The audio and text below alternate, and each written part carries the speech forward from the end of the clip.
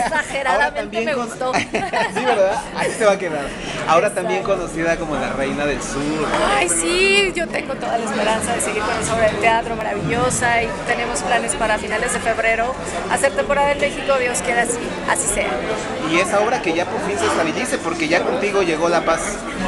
Esperemos en Dios, todavía no tenemos nada claro, pero primero Dios a finales de febrero ya, llegará la paz. Marta Julia, esa ha sido tu característica, donde estás, das profesionalismo, y desde que debutaste en televisión hubo algunas críticas porque no te conocían y, y nada te ha sido gratis. ¿Cómo ha sido una carrera sólida, lejos del chisme y más del profesionalismo? Qué lindo, te agradezco mucho tus palabras. Pues, ¿qué te puedo decir? Yo amo mi carrera y, y pues ya son 25 años, ya he pasado por muchas cosas y aprendizajes más que nada en el mundo. Desde la primera telenovela fue un boom, el premio mayor fue un exitazo que estamos cumpliendo ahorita 25 años y me siento bien orgullosa porque creo que fue la mejor elección para empezar y comenzar una, una carrera. Creo que estuve cobijada con el productor y con todo el equipo este, de actores también fue pues un trancazo y eso me ayudó muchísimo para despegar.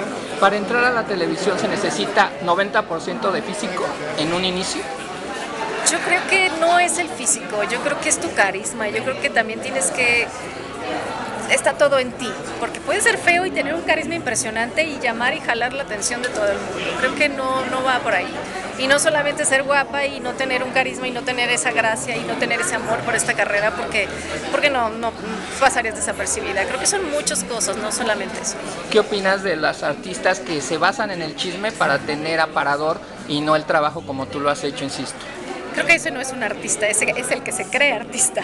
Creo que el artista es de otra manera y de otro pensamiento y de otras actitudes y de otras maneras de dar pasos en la vida. Creo que al revés, creo que esas personas que solamente están buscando fama y, colgándose de cosas y pues solamente llegan como estrellas fugaces, ¡pum! se caen, ¿no?